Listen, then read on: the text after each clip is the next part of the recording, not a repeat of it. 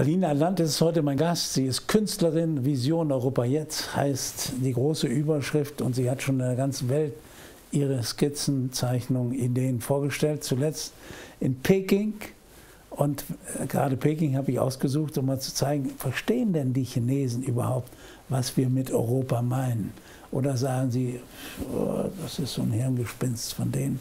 EU gibt es zwar, aber eigentlich sind es alles Deutsche, Franzosen, Italiener mhm. oder sonst was. Aber sie wollen ja die Idee Europa, die Vision Europa vermitteln. Verstehen die das? Ähm, da es dieses Bild noch nicht gibt und ich damals mit einem Vorläufer da war, mit dem, zum Thema Antidualismus, was ja Europa ausmacht. Mhm. Es gibt immer ein sowohl als auch ein Miteinander. Also ich fand die Ausstellung extrem frei.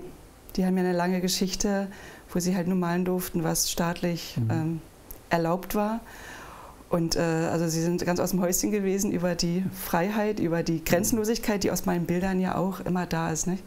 Also ich gehe über Grenzen, für mich gibt es äh, schon Grenzen, aber eigentlich macht es als Künstler ist es die Aufgabe, immer über die Grenzen zu, ähm, also Brücken zu bauen, über Grenzen zu gehen. Und das ist natürlich in Europa das Riesenthema. Ja. Ob es die Chinesen verstehen, die werden das Bild, wenn sie das Bild sehen, werden sie es verstehen.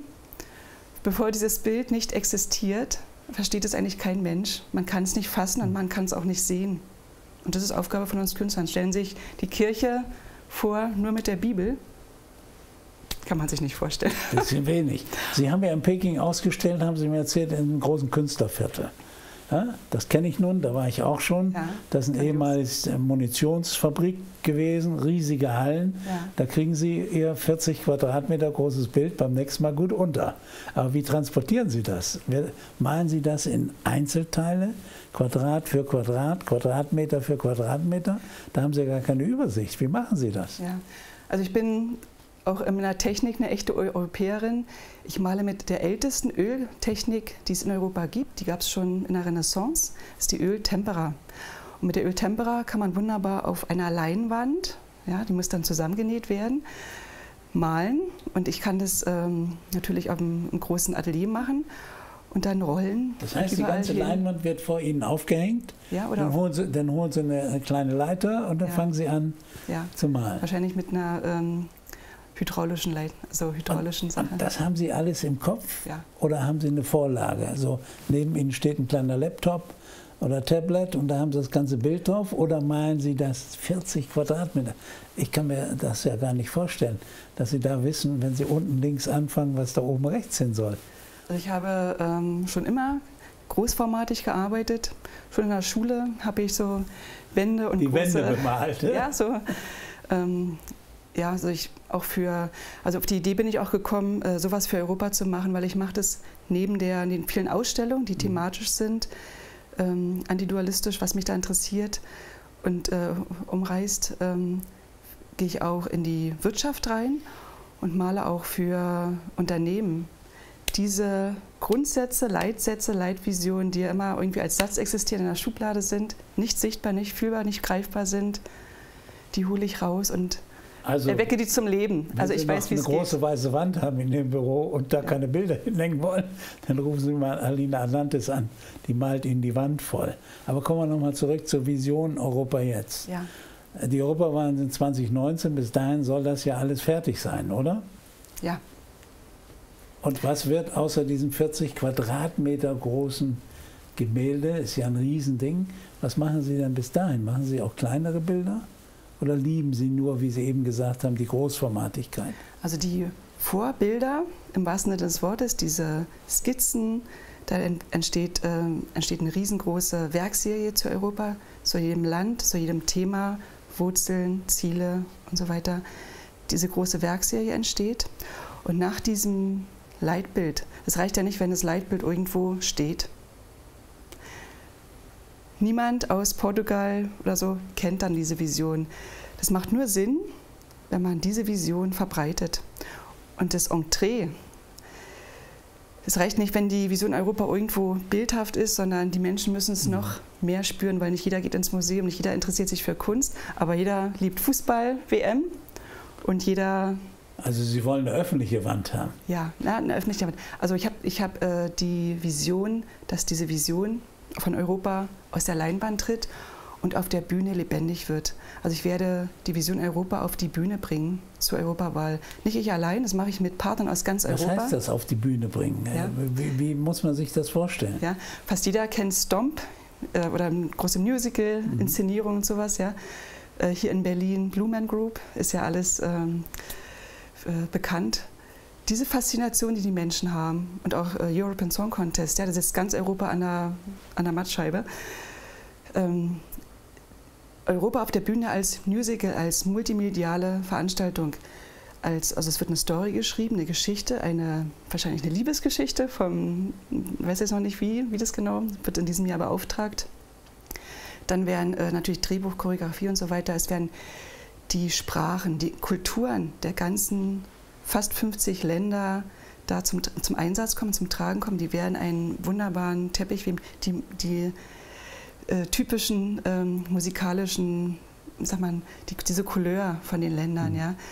Tänzer, Bilder, ähm, äh, großes und große Orchester mit einer unglaublichen Dramatik, die, äh, also ganz Europa mit den über die Kulturen, die Kulturen Europas werden halt auf der Da Bühne. brauchen Sie ja die sein. Mercedes-Benz Arena. Sonst kriegen Sie das ja gar nicht unter. Ja, wir sind jetzt. ich habe das ähm, jetzt mal so gesagt. Ne? Vielleicht äh, notiert sich das jemand und sagt, ah, das ist eine gute Idee ja. für das Jahr 2019. Also wir sind noch auf der Suche nach, einer, nach einem passenden Partner dafür. Ähm, ich bin mit dem Europapark jetzt im, im Gespräch, auch mit der Europapark ist EU, aber in also- Baden-Württemberg, nicht? Ja. Oder? Ziemlich Also, weit weg. Also ziemlich weit weg. in Berlin, wir haben Ja. wunderbare große Hallen hier. Ja, in Berlin wäre Ja, natürlich. Sie haben ja ähm, hier auch schon ausgestellt oder sind ständig in Berlin ja, und machen das. Also äh, es gehört, Sie suchen noch eine Halle und einen Ja. Partner. ja. Ja, aber das sind ja riesige Gemälde. Wenn Sie das für jedes Land machen, es sind, so ja, sind das nur die Länder der EU. Sie haben eben gesagt 50 Länder. Also das sind alle Länder, die Sie zu Europa zählen. Sind ja nicht alle in der EU. Richtig, also Europa ist nicht nur die EU. Die EU ist vielleicht ein Anfang für die wunderbare Zusammenarbeit. Sie ist ja, muss- man muss Mhm. auch sehr kritisch sehen. Also da passieren sehr viele äh, Dinge, die für die Menschen in Europa nicht gut sind. Deshalb hat die EU auch ein schlechtes Image. Aber das ist trotzdem, man unterhält sich, man spricht miteinander. Wenn Dialog geführt wird, wird kein Krieg geführt.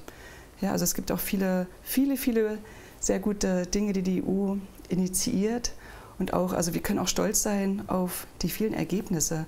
Das wird auch Teil der Ausstellung sein, das auch mal zum Tragen zu bringen, was wir alles schon haben. Ich bin jetzt ganz neugierig, wenn Sie für jedes Land in Europa eine Skizze machen.